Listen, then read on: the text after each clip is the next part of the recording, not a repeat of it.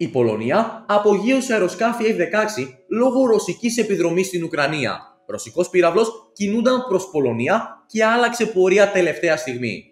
Οι σιρήνες της Ουκρανικής αεράμινας λοιπόν δεν πρόλαβαν αρχικά καν να εχίσουν και εκτοξεύτηκαν ρωσικοί πύραυλοι Κίνζαλ κατά του Κιέβου προκαλώντας πανικό. Το Κίεβο και η υπόλοιπη χώρα αντιμετώπισαν εχθές μαζική ρωσική πυραυλική επίθεση.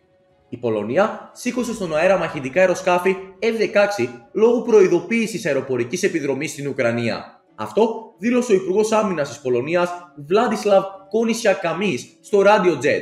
Το πρωί κηρύχθηκε συναγερμός αεροπορικής επιδρομής σε ολόκληρη την Ουκρανία. Αυτό επαναλαμβάνεται κυκλικά και πιο συχνά. Πρόκειται για μαζικές επιθέσεις. Οι περισσότεροι πύραυλοι πετούν προς συντηρητική κατεύθυνση, δηλαδή προς την κατεύθυνση της Πολωνίας. Φυσικά έχουν στόχο στο έδαφος της Ουκρανίας, αλλά σήμερα το πρωί όλα τα συστήματα ασφαλείας στην Πολωνία είναι πλήρως προετοιμασμένα, τόνισε ο ίδιος.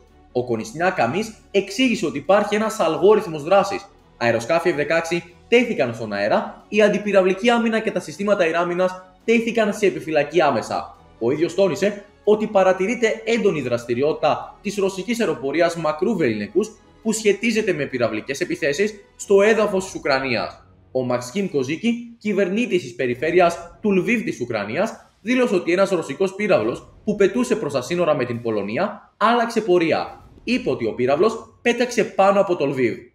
Το πρωί της 7η Φεβρουαρίου ανακοινώθηκε συναγερμός αεροπορικής επιδρομής σε όλη την Ουκρανία. Οι τοπικές αρχές και τα μέσα ενημέρωσης αναφέρουν εκρήξεις και πυρκαγιές στις περιοχές Κίεβο, Χάρκοβο, Νικολάευ, Ιβάνο Φρανκίβσκ, Λβίβ, Ντνιπροπετρόφσκ και Τσερκάση.